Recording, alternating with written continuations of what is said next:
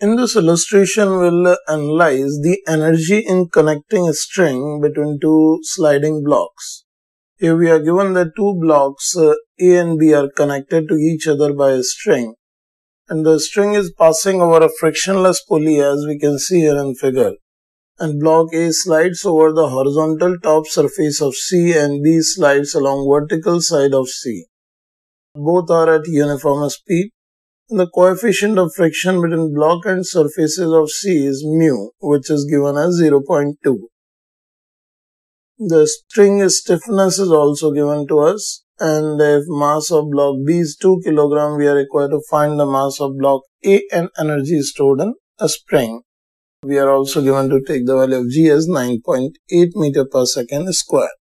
Now in this situation, first uh, we can directly write that uh, as blocks move at uniform speed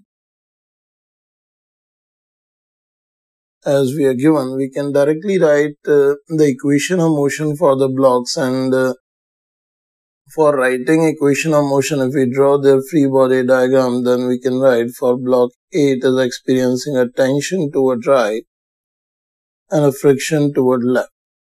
And if we talk about block B, it is experiencing mg in downward direction and tension in upward direction as there is no contact force between B and C as it is only in vertical motion and we consider C to be at rest so B will not experience any friction. So here we can write as the blocks move at uniform speed we can write uh, for A the forces must be balanced so tension should be equals to mu multiplied by mag and uh, for b if we write uh, it should be giving us t is equals to mbg and the value of mass of block b is given as 2 and g is 9.8 so this can be written as 19.6 newton. That is the tension the string and uh, from here if we write it gives us mu mag should be equals to mbg and uh, here g gets cancelled out and the value of ma we can write. This equals to mb divided by mu. As mass of block b is given as 2 and mu is 0.2 that means the value of mass of block A we are getting is 10 kg which is one result of the problem. And as we are given with the string tension, we already calculated it over. This tension must be equals to Kx. If K is the string stiffness, this implies the value of a string elongation can be given as T by K. So here the value of t we have calculated as 9.6 and the value of k is 1960. Then this is giving us the extension to be 0.01 meter or 1 centimeter.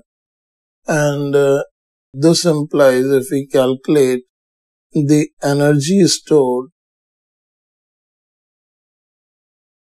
in a string an energy stored in a string can be given as half kx square.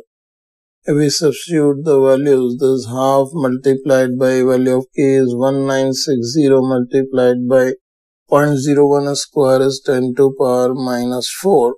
Then simplifying this giving us 9.8 into 10 to power minus 2 joule. That will be the result of this problem for energy stored in the string.